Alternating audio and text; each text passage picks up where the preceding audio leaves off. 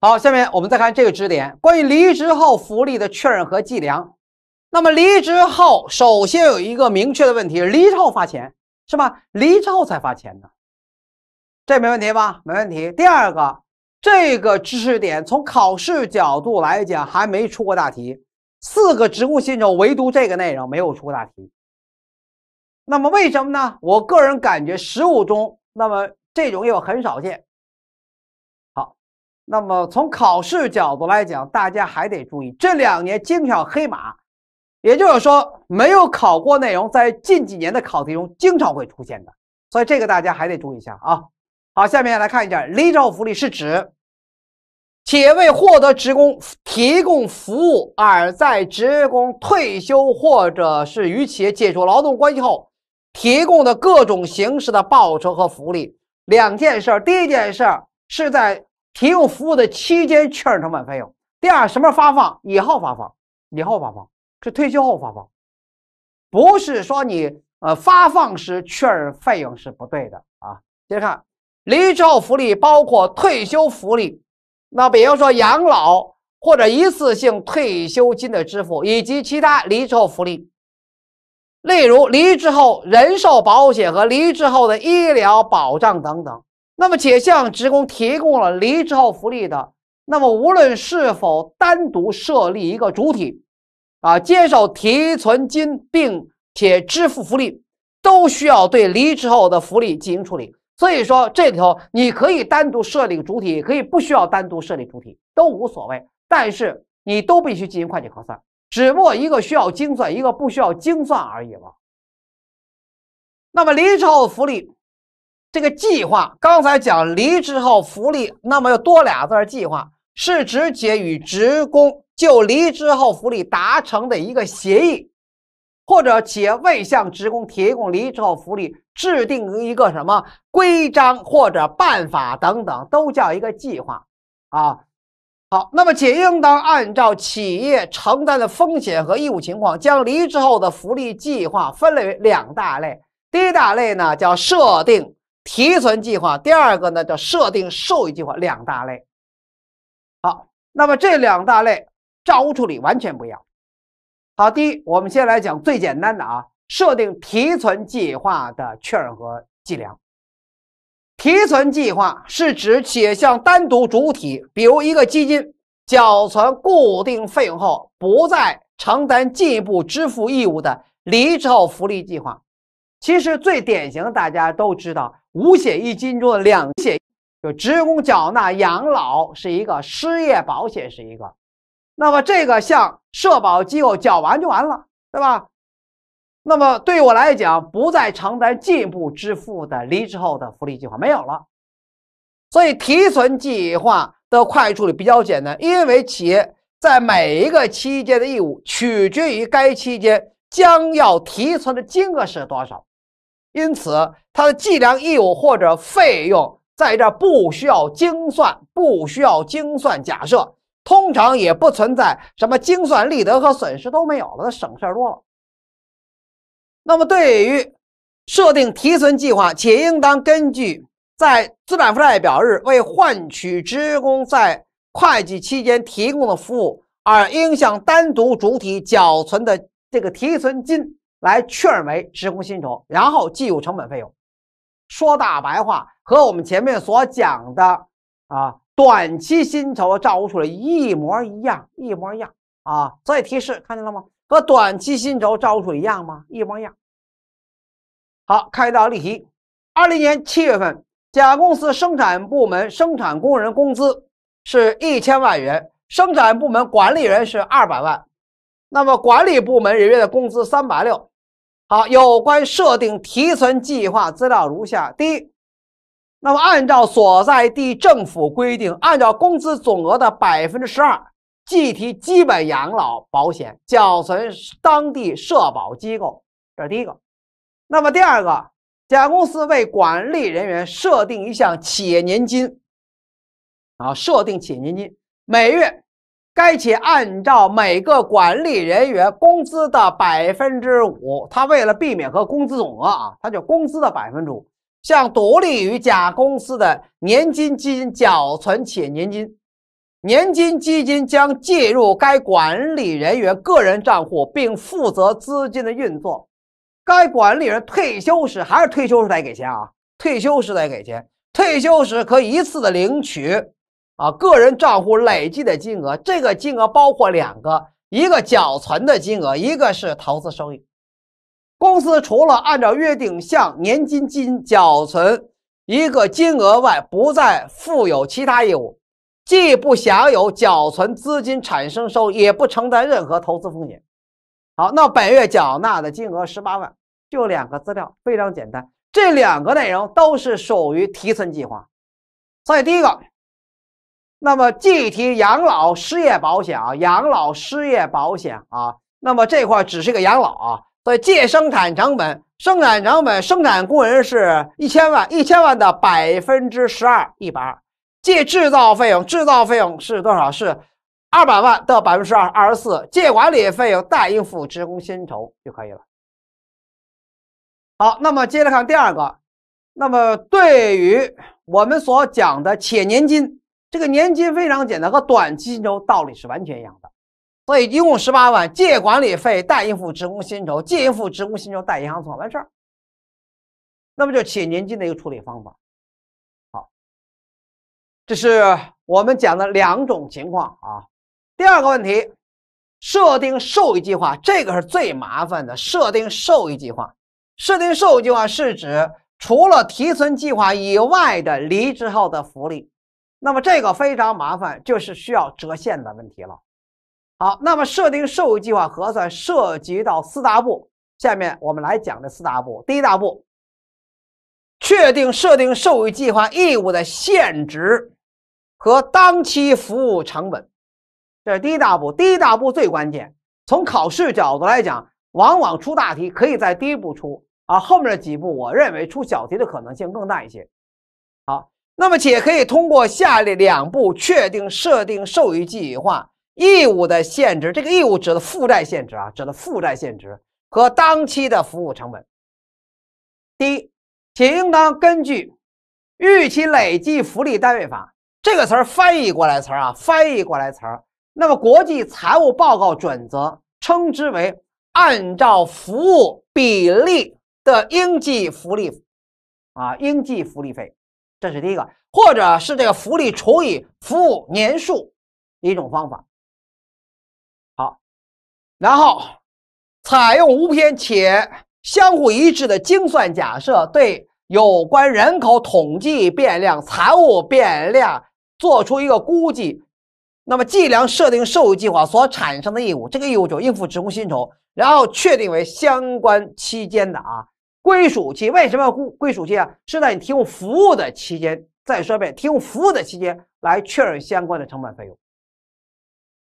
好所以在这里要考虑什么？要考虑一个精算，要考虑精算。为什么呢？因为大家知道，我们社保没那么多钱呀，没那么多钱啊，我们必须得精算精算呀，对吧？所以说，企业没那么多钱啊，咱都得精算。你要精算，我也要精算。我没那么多钱，就这意思。那么第二，且应当根据资产负债表日与设定受益计划义务期限得一致，币种得一致。相匹配的国债或者活跃市场上高质量的公司债券的市场啊的收益率来确定为折现率，首选是国债啊，国债率最好的啊。那么前条件期限一样，币种一样。如果没有相匹配的，你可以用啊，一个是活跃上，不活跃可不行啊，得有交易市场啊，而且高质量。什么叫高质？起码三 A 级的，三 A 级的公司债券。我们讲的债券是债券的三 A 级，不是企业的信用等级三 A，因为信用等级也可以三 A，债券也有等级啊，所以指的债券的这个等级啊。那么作为折现率，然后将设定受益计划所产生的业务予以折现，那么也确定设定受益计划义务的现值和当期服务成本。顺便提一下常识性东西啊。在实务中，一般是根据中国国债收益率来确定其折现率。这是第一个啊，折现率怎么确定？一般来讲，国债收益率，你们财务管理讲过啊。再一个，这个年龄，这个寿命怎么确定啊？比方说，我估计啊，咱俩签协议啊，说啊，你在我企业再干二十年吧，再干二十年，二十年后，二十年后我每年给你十万块钱，直至你死亡。那么直至你死亡，这个死亡你怎么确定？十年、二十年、三十年啊？啊？那么在我们国家，在我们国一般来讲是根据中国法定的退休年龄确定正常退休年龄，一般来讲六十岁男性啊，然后采用了中国寿险业啊寿险业年金生命表确定的死亡率的数据，那么来测算出来的，测算出来不是一拍脑子出来的啊！好。下面具体来讲，第一个，设定受益计划义务的限值是指企业在不扣除任何计划资产情况，如果有资产，资产你不能扣除啊，不能扣除。那么为履行当期和以前期间职工服务产生的最终义务所需支付的预期未来金额，这个金额还得要干什么？折现啊，折现。比如说啊，我预计啊，咱咱俩签协议啊，说你在我企业再干吧。再干二十年，二十年后你退休了，退休每年给你十万块钱。好了，那么在这种情况下，我要干什么呢？我要考虑，要考虑第一个，我要考虑什么？要考虑你的寿命。比如说，我每年给你十万，你的寿命二十年，二十年乘以十，我预计的寿命三十年，那三十年乘以十，每年给十万，对吧？那么未来支付的金额，这个金额得折现到退休那一天，折现到退休那一天啊，现值就这意思。那么第二步，那么且应该通过预期累计福利单位法确定其设定受益计划义务的现值，这是一个。然后还有一个当期的服务成本，还有过去服务成本，这里涉及到啊，涉及到义务的现值。这个义务的现值就是刚才所讲的啊，刚才所讲的是六十岁那天啊，我应该支付的那全部的金额那个现值。当期服务成本二次折现，二次折现，过去服务成本这个不需要折现，过去服务成本直接计入当期的啊，直接计入当期和计入当期服务成本的处理方法一样的。好，那么且应当将这个福利归属于提供设定受益计划义务的发生的期，什么意思？工作期间工作二十年，工作二十年，比如你寿命三十年，寿命六十岁退休后三十年啊。好，那么在这种情况下，我第一步折现，我要折到什么？我把未来三十年支付的金额折现到六十岁那天，然后再把这个金额啊，那个现值金额再怎么着，在你提供服务的工作二十年内，二十年内归属期是这意思，归属期这意思啊，归属到，然后按直线法分配。前不说按直线法了吗？第三步。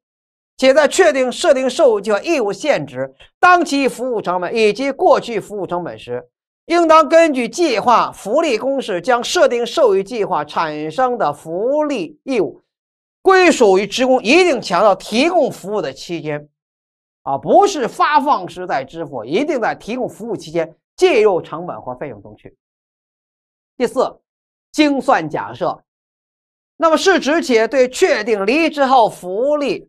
最终义务的各种变量的最佳估计，那么精算假设应当是客观公正和相互可比的，没有偏且相互一致的。那么精算假设包括什么？有人口统计假设，人口统计，比如说死亡率啊什么之类的啊。那么还有一个财务假设，比如说折现率多少等等啊。那么再来看人口统计假设，包括死亡率、职工离职率、伤残率、提前退休率。那么财务假设包括折现率、福利水平、未来薪酬等等，这些都是要假设、要精算的。我记得在听课的时候，财政官员在讲课说说这些东西在实务当中，记住不是我们会计部的事啊，别把什么事儿都揽在我们会计身上啊。我们会计够累的了，会计人够累的。所以上次有学生告诉我，老师，我们单位要类算类似的东西，问我问我怎么算？我这东西是我们会计部门的事儿，找 HR 去，找人力资源去，他们拿的钱比我们会计拿的多，找他们去啊。实务中真是这样的啊。再不行，你不不会算吗？那请人算呀，请谁啊？精算师算去，有精算师实务中啊，对吗？所以这个呢，实务中一般来讲是由精算师来算的，由精算师来测算的。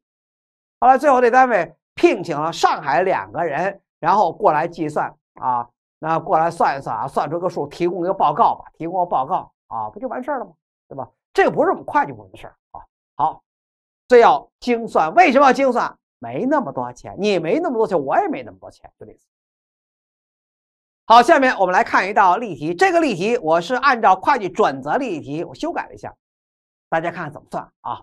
甲公司资料如下，这个甲公司资料和后面没关系了，后面我用资料正保资料了啊，正保资料了，所以是拆开了啊。来看一下，二零年一月一号设定一项设定授予计划，是一月一号，不是十二月三十一号啊。从一月一号开始啊，从当日开始，所以折现的时候有一期利息少了，少一期利息就可以了啊。好，一甲公司向所有在职职工提供一个统筹外补充退休金，除了你拿社保基金以外啊，拿社保退休后拿社保以外，我额外给你一笔钱啊，包括春节发的钱、这钱那钱什么之类的啊，什么十一了、什么中秋节了、粽子节了什么之类的啊，都含在这里头了。那么这些职工在退休后可以每年额外获得十万的退休金，直至去世。那么职工获得额外退休金，基于该计划开始日起为公司提供服务，你得给我干活啊！你得从现在开始给我干活啊！而且自该设定授予开始日起，一直为公司服务，直至退休，一直给我干到退休。假定一共六百个人符合条件。当前平均年龄四十岁，那么六十岁退休，再干多少年？再干二十年。你别给我算出十九年啊！我为了简化，咱就二十年告诉你了啊！再干二十年，那么记住，二十年内要确认成本费用。假定不考虑离职率，啊，退休后的寿命假定十五年，十五年，啊，我想弄多了不好算，咱弄个十五年就行了啊。工作年数二十年，退休后。寿命十五年，折现率百分之十。下面给了有关的啊系数，自己看。要求第一，计算甲公司二零年一月号六百名职工退休后直至去世前，且应该向其支付的累计退休福利，在其退休时点的现值。和第一步要折现，那么第一次折，第二次还要折现，那么在确认每期的成本费用还要进行折现。好，下面一个来看。第一，二零年一月一号，该六百名员工职工啊退休后，直至去世之前，且需要支付的退休福利，在其退休时点的限值，即设定授予计划义务的限值，不就是六百个人吗？那每个人给的是十万呢？那么再乘以什么呢？七点六零六什么东西啊？不就是年金吗？不每年支付十万吗？每年支付十万，对吧？一个人，对吧？所以是 P/A 折现率百分之十，十五年的寿命，十五年的寿命，啊，这样算出四五六三六，是六十岁那天的那个限值。好，再接着看看表格，表格咱也能会算啊，表格咱也会算啊。那么横着看啊，那么当年支付的金额，退休后注意，退休第一年、第二年、第三年啊，所以支付的是。六百个人乘以十万，啊，六百个乘以十万，六千。好，六千六千六千算去吧，对吧？一一共是退休十五年啊。好，折现率是百分之十已知，然后再接着看复利现值系数，不就一加百分之负一次方吗？负一次方不就零点九零九一吗？不就是复利吗？不就复利现值系数吗？那么第二年退休第二年呢，是负二次方、负三次方等等。好，那么再接着看。四退休时点的现值，那么算去吧。那么就是六千乘以六千乘以这个这什么这个复利现值系数，算出五四五四点六，后面乘以系数自己乘去，最后加在一起，加总在一起，退休时点现值合计四五六三六。考试时，我觉得画表格的算法呢，应该说可能性不大，但是二零年。二零年财务管理中考的折现考那么多表格，反正据学生告诉我，告诉我们说啊，我们在开会的时候，学生说的说说什么说什么来着？说这个根本做不完题，根本做不完，填表填特多，填表填特多，然后呢，呃，计算量特别大，经常有折现啊，所以填表题你们得会啊。那么填表题得会，但是注会很少考填表题。先告诉大家说，很少的，很少考，考过吗？绝对考过。考过什么？告诉大家啊，第一，考过合并报表的填写，大概是在九十年代。然后后面还考过一个应付应付债券的一个填表题，还考过什么表格我忘了啊。那么这种填表题大家得知道啊，原理知道就可以了。大部分内容都涉及到财务管理东西啊。好，第一步，第二步，我们再算当期的服务成本。当期服务成本的话，那么第一，退休时点义务的限制有了，然后在工作期间内直线法，所以是。四五六三六除以工作年数二十年直线法，然后除一加百分之十的十九次方，十九次方不就完了吗？十九次方，那么十九次方，十九次方，再说白了，不就是复利限制十九次方零点一六三五吗？这不就是零点一六三五吗？不就这个数吗？所以我给你两种算法，和那个我们后面再讲租赁的时候的道理一样，租赁。我在二零年用三种方法讲，那么今年我考虑是不是用还用三种方法讲，有两种方法讲。我在这目的就是一个，因为很多人财务管理不太熟，所以我只能用多种方法来讲。考试时用一种方法就可以了，一般用系数最简单啊。好，这个算出三七三点零七，借管理费等科目代记应付职工薪酬三七三点零七，这是第一年。那么第二年经过一年了。应该有什么？应该有利息费用了。我们这道题没有那个没有那个设定受益计划的资产啊，设定受益资产没有啊。那么经过一年了，所有利息费用，所以上面的应付职工薪酬三七三点零七应该考虑利息费用。所以当期利息费用三七三点零七乘以折现率百分之十，算出三十七点三一。三十七点三一在这儿呢，借记财务费用。再应付职工薪酬三十七点三一，就这个数。这第一件事儿。第二件事儿，当期服务成本。好，分子上仍然是什么？是退休时点那个现值，还是直线法？四五六三六除二十年，再去除一加百分之十的十八次方。十八次方不就是这个十八次方零点一七九九？这不零点一七九九吗？算出四一零点五。有了四一点五，再借管理费，代应付职工薪酬，不就完事了吗？四一零点五零，四一点五零。二年当期的利息费用，那么应该等于二一年设定受益计划的余额是最早金额三十七点零七，加上一个利息费用三十七点三一，再加上四一零点五零，好，那么算出来余额是八二零点八八，再乘百分之十，八十二点零九。当期服务成本还是这个数，四五六三六除以二十年，然后再除一加百分之十的十七次方，那么算出是四五一点三四。好，二年末设定受益计划的余额自己算，翻录，利息费用走财务费用，借财务费用代应付职工薪酬，当期服务成本借管理费代应付职工薪酬，四五一点三四，四五一点三四都能算出来，这是它的一个处理方法啊。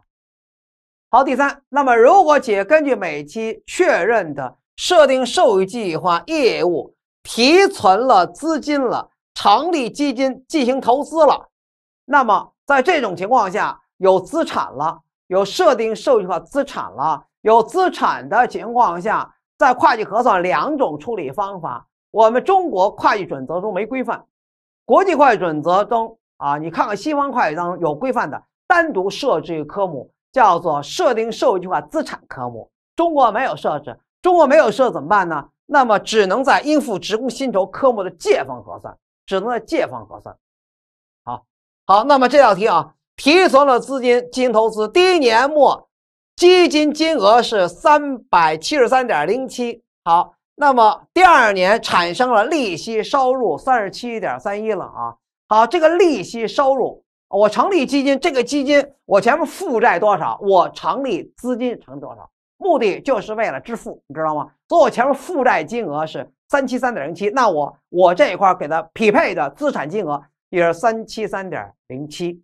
同时到第二年，那个负债叫利息费用，资产叫利息收入，资产叫利息收入，所以资产的利息收益是三十七点三一百分之十啊，所以相当于借资产。将借资产，但是我们国家不单独设置资产科目，所以只能用应付职工薪酬科目借方核算资产，所以冲负债而已了。借记应付职工薪酬，代记财务费用三十七点三一。这笔分录和前面的利息费用可以合编，可以合在一起，也可以拆开编，都可以。后面还会有这种分录的啊。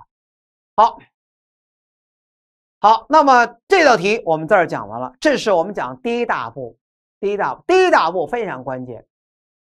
好，第二大步，确定设定受益计划净负债、净资产、净啊，那么净啊两个净，一个净负债，一个净资产，谁大啊？谁放前头就可以了啊。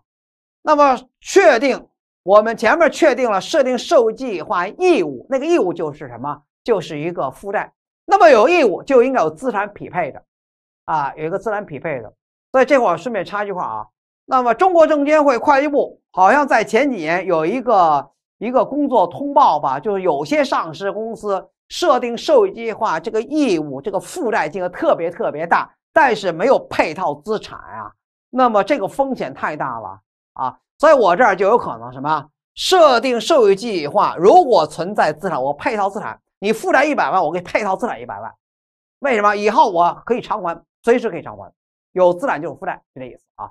所以设定受益计划，如果存在资产的，那么且应当将设定受益计划义务这个义务就就是负债啊的现值减去设定受益计划资产的公允价所形成赤字或盈余。确定为一项设定受益计划净负债净资产，所以谁减谁呀？谁减谁呀？那一般来讲，在实物当负债远远大于资产。比如我设定受益计划啊，负债金额一百万，我自然可能就是六十万。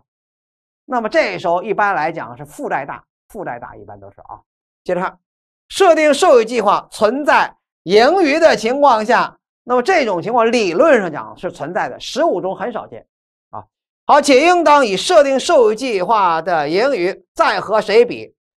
只有当盈余情况下啊，那么再和资产上限两项孰低原则再来确定啊，那个设定受益计划净资产。什么叫上限？不用管它。什么叫上限？不用管它。好，下面看例题。好，这个题和前面的题没关系了，和前面的甲公司题没关系了。所以我这块用了正保公司的啊，我不用甲乙丙了，用正保公司了啊。好，正保公司资料如下：二零年一月号设定一项设定受益计划，并当日开始实施。按照预期累计福利单位法计算出设定受益计划总负债金额是六百万。如果该公司专门购置了国债作为计划资产，那么用于偿债去啊，而且该国债仅能用于偿付企业的福利计划负债，别的不能用。且除了福利计划之外，该企业其他债权不能要求用于偿还其他负债。好，没有一个其他的限制条件啊。那么紧接着，当年末，当年啊，当年给了两个资料啊。那么该国债公允价值是二百万，二一年末公允价八百万，给两个资料，总负债金额六百万啊，这个数假定不变啊。好，那么来看吧，要求。根据上述资料计算，那么二零年净负债，那么二一年呢是溢余是多少？我们先看二零年，二零年负债负债大啊，设定受益计划总负债六百万，国债的公允价是二百万，所以负债大于资产，负债大于资产，所以算出了四百，那么叫净负债，叫设定受益计划净负债。啊有人问我，老师，你算完干嘛用的？干嘛用的？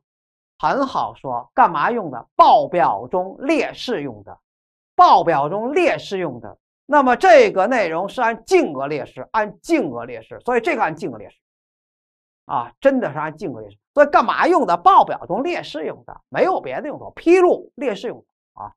再接着看第二年，那么第二年存在盈余了啊。那么国债在二一年末公允价是八百了。八百了，好，负债不变还是六百，那么俩一减是二百，资产大于负债，资产大了，那么这种情况怎么办？再找个上限和上限比去。假定已知从该企业该企业可从设定受益计划退款或减少未来对该项计划缴存资金而获得经济利现值即资产的上限是三百万。好，三百万和二百万谁低？二百万低。所以最终来讲，也就是说，二者孰低原则？那么该项设定受益计划净资产叫净资产了，二百万干嘛用的？报表中列示用，报表中列示用。好，这是第二大步，第三大步，确定应当计入当期损益的金额。那报告期末且应当在损益中确认设定受益计划产生的职工薪酬的成本，这个成本包括服务成本。设定受益计划净负债或精算利息金额，利息金额。服务成本又包括三个，服务成本包括第一个当期服务成本，第二过去服务成本，第三结算利得和损失。注意叫结算，不叫精算啊，别弄混了。精算利得和损失计入其他综合收益的，那么结算利得和损失计入当期成本费用的。所以服务成本包括三个内容。下面来讲，第一个当期服务成本。是指因职工当期服务导致设定受益计划义务现值的增加金额，不就是第二次折现金额什么十九次方、十八次方那个事儿吗？对吧？第二，过去服务成本是指设定受益计划修改了、修改了所导致的与以前期间职工服务相关设定受益义务现值的增加或减少，增加或减少。是修改造成的。那当企业引入或者取消一项设定受益计划，那么或是改变现有设定受益计划这个应付福利时，就会发生它的修改了。当且显著减少计划涵盖职工数量的时候，数量了，原来六百个人，现在改四百人了，就会发生计划缩减。缩减可能源自于某一单项的。比如说关闭某个厂房，那么我终止了，终止项经营等等。那么这种情况下都会修改。那么过去服务成本是由于计划修改或缩减所导致职工前期服务的设定受益计划现值的变化，所以过去的成本均应该在发生时再说一遍，在发生时直接计入当期损益。你别给我追溯去，别给我追溯去啊，直接计入当期的。这是一个啊，这个过去服务成本应该比较简单啊。三、结算利得损失，那么且应当在设定受益计划结算时，为什么结算？人家不干了，我们不干了。比如说我这企业，我们的企业原来有一个设定受益计划，但是企业的确没钱了，所以企业说不干了，结算结算吧，应付职工薪酬账上一百万，这么着我给八十吧，那二十不给了，那么对我来讲就结算利得，账上一百万我给一百一吧，那个。十万不就损失吗？啊，再比如说我这企业控股股东变了，新的控股股东不承认原来的事儿，那怎么办呀？结算了吧，不就完事了吗？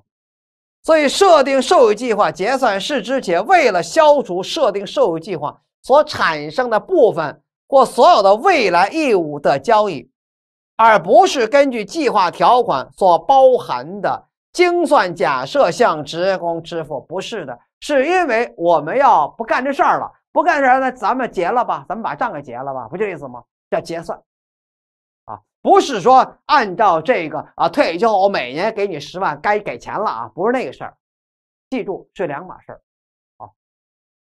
那么设定受益计划结算利得和损失是两者之间差额，不就是账上的金额，也就是结算日确定的设定受益计划的限制，不就应付职工薪酬科目的余额吗？那么第二给多少钱啊？结算价给多少钱？二者之间差额就是结算利得损失。这个结算利得损失直接计入到当期的损益中去。好，接着看，那么结算是未在计划条款中规定的福利的支付，没有纳入到精算假设当中，因此结算利得直接计入当期损益。而在计划条款中规定的福利支付。那么这个不属于结算啊，而且已经纳入到精算中了。所以支付此类福利时产生的利得和损失，这部分的利得损失既有其他综合收益的，所以都是精算啊，精算利得损失、结算利得损都带俩那两个字儿，那么就是利得损失一定要弄清楚，结算利得、精算利得两码事儿。再说一遍，结算利得是既有损益的，精算利得损失呢？是既有其他综合收益的。什么叫精算利得损失？后面来说。好看一道例题，沿用还是正保正保公司资料。假设正保公司二一年因经营困难需要重组，一次性支付给职工退休补贴款八百万。好，那么账余账上余额多少？一千二百万，给多少钱？给八百万，四百万不给了，四百万不给了。所以借应付职工薪酬一千二，贷银行存款是八百啊，然后剩下的差额直接计入当期损益啊，或者相关资产成本可以，这叫立德，不就完事了吗？这叫结算啊，结算。第四，设定受益计划净负债净资产的利息净额，这个净额是什么？哎，扣掉资产了，所以资产和负债。这两个内容的利息的差额，利息差额，大家看，设定受益计划净负债或净资产利息净额是设定受益计划净负债或净资产在所处期间由于时间的流失产生的一个变动。随着时间流失，不就利息吗？资产就利息收入，负债就利息费用呗。时间流失而产生变动，包括计划，这个考过，这个考过，这题太偏了，考这东西。中介考过那个，好，好像我记得啊，计划资产的收益啊，利息收益，资产不就利息收益吗？设定受计划义务，这个义务不就负债吗？利息费用以及资产上限，资产上限影响的利息三个内容。好，设定受益计划净负债或净资产利息金额，通过将设定受益计划。啊，净负债或净资产，这个净负债是扣掉啊，这个净负债或净资产是二者之间差额啊。如果有资产扣掉资产了，那个差额在乘以折现率确定出来的，所以这两个合在一起算了，合在一起算了。那么设定受益计划净负债或净资产利息净额的计算，应考虑资产的上限的影响。好，计划资产利息收益是是什么呢？是计划资产回报的组成的部分。那么，通过将计划资产公允价值乘以折现率确定，都是一样的。所以这一块内容总的原则都是什么？都是乘折现率算出来的利息。看例题，还是用前面正保公司的资料。假设正保公司二一年初设定受益计划净负债啊，看好了，净扣掉什么了？扣掉那个资产的公允价值啊，四百万。就是设定受益计划净负债等于设定受益计划总负债前面的数六百减掉国债前面那些记得吗？国债的公允价二百等于四百。好了，折现率是百分之十。好了，四百乘百分之十就是四十万。这四十万直接变分录借财务费用代记应付职工薪酬就可以了。这是两笔分录合在一起了，一个利息费用，一个是利息收入。再接着，二年初设定受益计划净。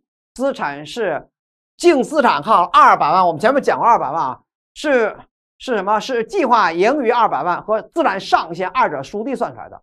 那么在这种情况下，折现率不变，还是百分之十乘二十。那么借应付职工薪酬代记财务费用利息收入了，这不资产吗？资产就利息收入了，但都是净。那么这块扣掉负债，扣掉负债啊。好，第四步，确定应当计入其他综合收益金额。